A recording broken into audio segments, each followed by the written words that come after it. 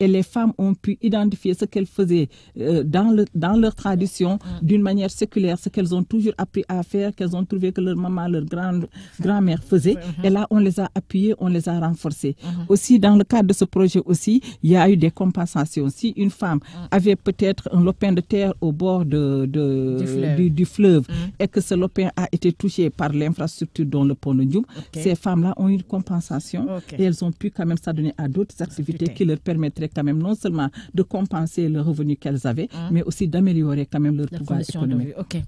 Euh, Voilà, pour dire que euh, nous sommes toujours dans le 8 mars et euh, nous avons euh, invité ici Madame Fatimata Kansar. Elle est la responsable genre du Millennium, Millennium, ah, MCA. Millennium MC, du MC, voilà, Millennium à- Challenge Account. Voilà, je crois que j'y arrive maintenant.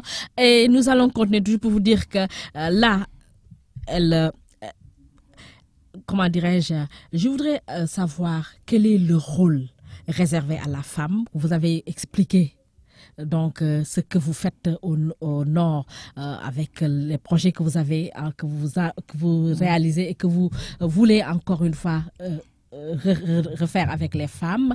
Mais je voulais savoir quel est le rôle euh, que le, le rôle de la réservé à la femme dans euh, dans dans, dans, dans votre euh, démarche de euh, comment dirais-je de développement Oui. en dehors même de de ces femmes de ces femmes qui sont là qui qui cherchent à, à, comment dirais-je à émerger Oui, au-delà de cela, la femme est considérée au même titre que l'homme. Mm. Hein? Parce que quand on parle de genre, on parle d'équité et d'égalité. tout à fait On parle de groupes vulnérables, Mm. les handicapés. Mhm. À Ndjoum, on a appuyé le, le- le groupement des handicapés de Ndjoum, Mm. Où il y a des femmes, des jeunes aveugles, des handicapés moteurs, etc. Mm. Il y a aussi un autre village où on a appuyé un groupement de handicapés Mm. dans l'aviculture. Donc, quand on parle d'appui aux groupes vulnérables, quand on parle d'équité et d'égalité de genre, Mm. c'est pas seulement les femmes.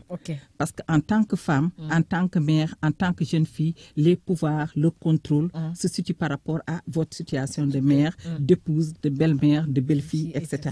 Donc, euh, par rapport à ce statut, votre rôle, euh, l'accès à la terre, le contrôle de la terre peuvent différer. Nous, ce que nous voulons à travers ce programme, c'est non seulement euh, réduire les inégalités, élever quand même la situation des femmes, à parvenir à changer cette situation, faire en sorte que la femme ait accès au foncier, mais quand elle a accès au foncier, qu'elle puisse contrôler les revenus de ce foncier-là. Parce que rien ne sert de- d'accorder des titres fonciers aux femmes, alors que ces femmes, si elles récoltent, qu'elles ne puissent pas payer le crédit ou bien que le- les fruits de leur travail soient contrôlés par le mari ou par le fils. Donc, autonomiser les femmes, c'est les permettre à avoir les moyens de se prendre en charge, voilà. les moyens de gérer leur propre entreprise. Et pour cela, elles ont été capacitées. Elles ont été capacitées. On a contracté avec des ONG qui ont eu à faire quand même des sessions de d'éducation financière.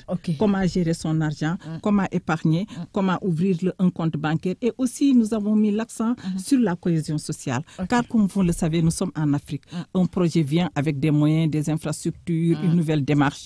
On ne voudrait pas quand même trouver une société, des femmes qui sont unies dans un village et avec ce que nous apportons, que ça, Ça puisse quand même diviser. créer une division. Et après le projet, il y a quand même une perte de cohésion. Au contraire, en tant que sociologue, en tant qu'expert du développement, nous faisons en sorte que nous renforçons cette cohésion sociale, que tout ce qui sera décidé pour les femmes, ce sera fait avec elles et ce sont elles-mêmes qui vont décider et nous allons les accompagner dans Comment- quand même la comment vous- poursuite comment vous- de leur engagement. comment faites-vous pour les accompagner? Pour les accompagner, comme Oui. je l'ai dit tout à l'heure, Oui.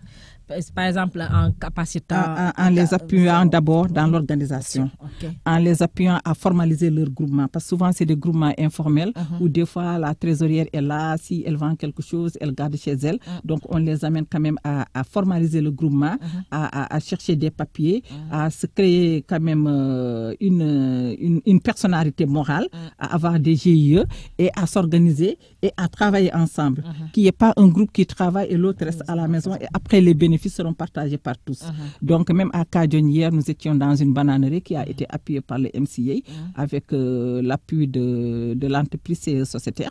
Et là, toutes les femmes à tour de rôle, elles vont les vendredis, elles irriguent.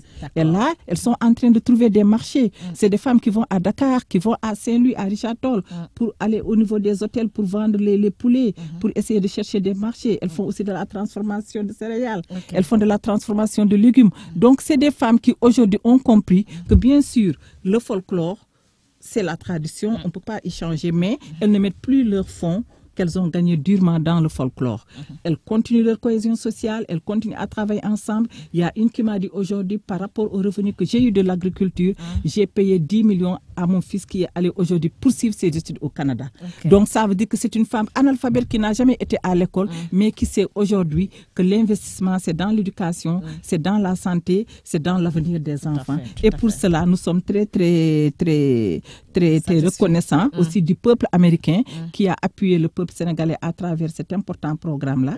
Et là, nous sommes aussi en train de travailler avec les structures régaliennes de l'État. Nous travaillons en étroite collaboration avec la SAIED parce que les projets partent partent, les projets finissent, mais l'État reste.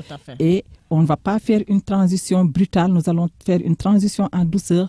Nous allons avec la avec l'aspergent de la nous travaillons en étroite collaboration, de même que mes autres collaborateurs dans le domaine de la santé, de l'hygiène, de la sécurité, du foncier, du routier. Donc chacun travaille avec son homologue, aussi bien avec la Géroute, pour que quand ce projet va se terminer en septembre 2015, que les structures de l'État puissent continuer ce travail parce qu'aucune œuvre humaine n'est complète. Donc les autres vont la compléter et espérant que le Sénégal, quand même, avec les résultats obtenus dans ce, dans ce premier MCA, dans ce premier compact, que nous aurons aussi la chance, comme certains pays, d'avoir un deuxième compact. Parce qu'une des conditions, c'est quand même que le pays soit démocratique, qu'il y ait des résultats, qu'il y ait des résultats un pays démocratique. Et là, quand même, nous pouvons dire qu'au niveau de l'Afrique de l'Ouest, que notre pays est un des pays quand même qui est cité en exemple. Et si nous venons aussi du Sud, euh, au niveau de la RN6, euh, les mêmes projets sociaux pour les femmes, pour les jeunes, pour les enfants, qui pour les de démarrer écoles. ou bien que, Donc, qui ont- euh,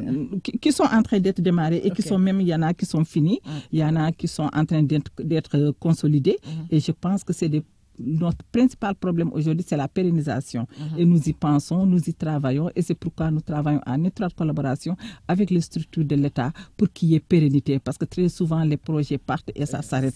Et cette fois-ci, avec la démarche participative que nous avons eue, avec le concours des structures de l'État qui nous accompagnent, nous avons bon espoir que cette pérennisation sera garantie, Inch'Allah. Inch'Allah. Ok, donc euh, c'est juste pour vous dire euh, quel appel lancez-vous euh, par rapport à, aux femmes qui, une fois qu'elles qu'elles soient du moins, euh, quel est le revenu, automatiquement, euh, qu'elles fassent autre chose et qu'elles prennent tous en charge euh, sans même que le mari, voilà. En fait, pour au moins, il y a certaines femmes qui montrent à leur mari, voilà, nous vous, vous gagnez, nous aussi nous, nous avons gagné, sans même, vous, comprenez ce que je veux dire, sans même en fait, réa- euh, euh, euh, attendez, je vais reformuler la question. Oui. C'est pour dire qu'il y a certaines femmes qui, euh, par exemple, après avoir en fait, gagné de l'argent, au lieu même de, de réinvestir pour encore gagner, mais elles préfèrent ne pas, même euh, pas, par exemple, euh, et- et pas s'arrêter uniquement à gérer les, le quotidien de la, euh, les quotidiens, mais montrer à- aux autres que voilà, nous avons gagné de l'argent et que voilà, donc, euh, qu'ils sont en train de gaspiller ou de faire autre chose, qu'il y ait un détournement d'objectif par rapport même à, à- voilà, ce que je veux dire.